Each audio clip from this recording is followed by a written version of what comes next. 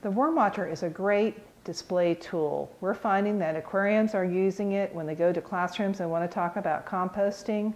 Um, you also can obviously use it as an independent learning center. It has a side on the side where you can lock it so people can lock and leave, which is always great if, whether you're in a classroom or a nature center or an aquarium setting. Um, we want to just show you a few things to make the composting demonstration a lot more meaningful. First is we would like people to bury their garbage along the sides. Along here you might see something here that looks a little different than the rest of the soil. That's where we've buried some food. When you bury food along the sides, of course, that encourages the worms to go to the sides. The skirt is on the outside primarily because worms live underground. And so that encourages them to come to the sides. But honestly, you're going to see worms moving throughout your worm watchers. Do not panic. These are red wiggler worms. They do not drown like the ones you see on your sidewalk. Um, and they often will, you'll see them going down and even taking a swim, which is also kind of fun. So definitely take observations in all kinds of weather. They tend to go to the sides during strange weather events like hurricanes or snowstorms. You'll often see them, you lift up the skirt, you'll see them all along the sides, even along your rooftop, the ceiling itself.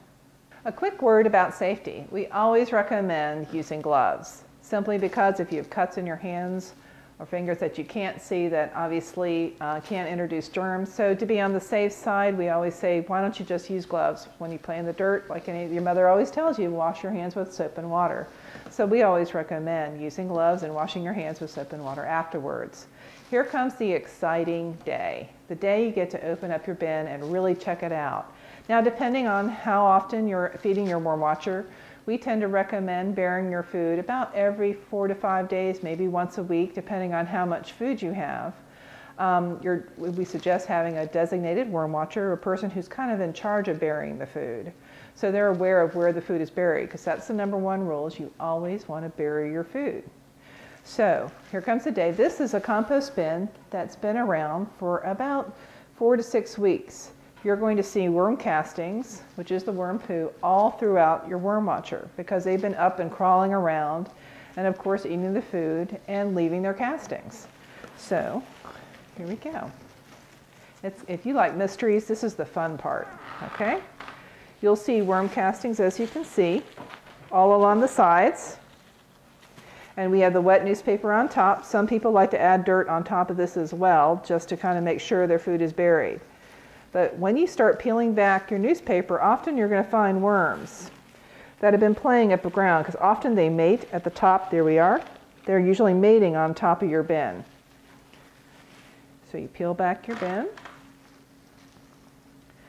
And as you can see, we've, been, we've buried quite a bit of different types of food. My favorite food for demonstration purposes is a melon. This has been in here four to five days. You will see that the worms, of course, in it. And it's actually so decomposed, it's really like a sheet of paper. Okay, typically when you do this, you can lift it up and see a nice ball of worms. Now, depending on this, you can see up to 500. Of course, there's some worms there that have been mating. And look at this. This is from three to four, five days ago. The paper, the watermelon rind is now like a sheet of paper. All right, let's see what else we discover in the bin. And again, it's like, another thing we like recommending is burying a pumpkin and putting a hole in the bottom. And the worms often, if you can see it there, there's a few worms here. As this decomposition process happens, you can even find a whole ball of worms inside a pumpkin, which is also fun when you're demonstrating. So when you're about to do a demonstration, say, in a classroom, we recommend putting something in, and you know, as you get a feel for the composting process, you want to give it four to five days and then pull it out and see how the worms are doing, if they're decomposing. It might take up to two weeks, like something in a pumpkin's case takes a lot longer as far as decom decomposing. But as you start checking out your bin, you're going to get a feel for exactly what's going on. Notice these sprouts. Again, worm castings is so high in nitrogen which is great for students and everyone to see that this is not like ordinary dirt. This is very, very nutritious. Um, it's odorless. It does not smell. And you're going to see the entire life cycle of a worm. What I want you to keep an eye out is for worm cocoons. A worm cocoon you can see on my website, and here's a shot of one as well. A worm cocoon contains up to 10 eggs, and they find on average about three hatch. So you'll see your worm population grow as, as your worms are happy. And I've never met a worm I don't like, and happy worms are healthy worms.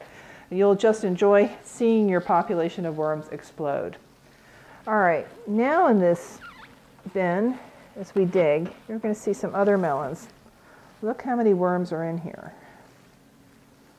Okay, here we go. And here's an apple. You'll see that the worms are eating on all the different sides of the apple. And of course, there's other things that are working on it as well. This apple has been in here for about a week. But you will see all ages in and out of the melon itself and leaving its castings behind. Here you find Another melon. Again, look how thin it is.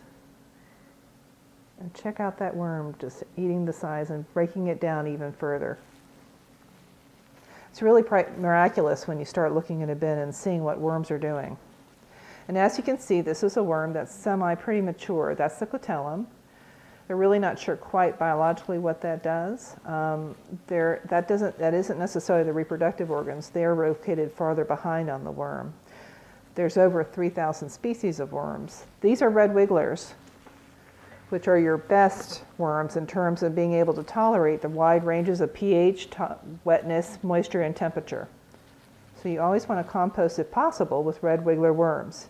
Now, of course, you can order your worms from us or from your local bait shop, but you're going to probably find that when you're ordering half pounds of worms, which is about approximately 500 worms, that it's pretty more economical to get it from a worm farmer or a worm vendor rather than your local bait shop. This is one of my favorite things to see when you look in a bin, and this is cantaloupe. As you can see, worms love cantaloupe, but they don't like the netting. So as this even it'll be go finer and finer, and pretty soon it's going to look like lace. So that's a very fun demonstration if you have a chance to do that with your students. One of the best ways to demonstrate the worm watcher is to let your compost bin um, not be fed for about four or five days and then add a melon or squash and leave it overnight. The next morning, dig into your bin and you will see a ball of worms where your squash or melon was buried. This actually was an acorn squash and you can see hundreds and hundreds of worms. And then the students go, wow, awesome.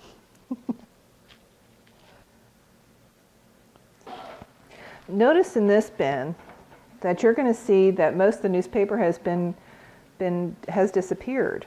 We put newspaper in our bins primarily to provide air pockets, also to absorb any odors. So as, but as you see, as the weeks progress, the, the paper disappears. So as we refresh our bins, which we recommend about every six to eight weeks, you're going to go ahead and take out half of your castings, move everything to the side, and put in fresh newspaper to mix into your bin. And of course, you might even need to take out some of your worms. You might have a huge family going on in here, and you might decide to use your worms in other bins. Some people like to put them in their garden. Uh, red wigglers are not, it, it turns out worms are have been introduced to the United States, so you're not introducing a foreign animal into your bin, into the environment. But some people like to put them in the bin, into their gardens. Red wigglers tend to live between 40 and 80 degrees according to scientific literature, but you might find that they live a lot longer. We've heard a lot of reports of red wigglers overwintering in the winters around 30 degrees. And we've also heard of them living outside and outside in, the, in certain bins around 85 degrees as long as they're not in direct sunlight and they've had good wind around their bins. So you can do your own science experiments with the worm watcher. You can figure out whether they prefer coffee or tea, fruits or vegetables, veggies or junk food. Um, the possibilities with the worm watchers are unlimited. A lot of folks now are taking experiments with the worm castings and comparing it with, say, Miracle-Gro type of soil or basic, basic cow manure or basic topsoil and comparing the differences and seeing the growth processes. A lot of other science teachers now are just experimenting with the worm tea, which has been an exciting new organic fertilizer that is showing some very promising results. Um, to get worm tea in the worm watcher, we recommend when your bin is looking pretty much decomposed, like you could easily do it right now, when it's convenient. You're going to take a cup of water and pour it over your worm castings and let it drain through. When you're ready to harvest your tea, you're simply going to use up your spigot. After you drain your water, you want to harvest it within four to five hours and put it in your garden. Dilute it up to 10 times and then put it on your plants and enjoy. You've just given it a natural vitamin, which your plants will totally enjoy, and minerals. So have fun experimenting with the worm tea and feel good about not wasting any of your great vegetable scraps.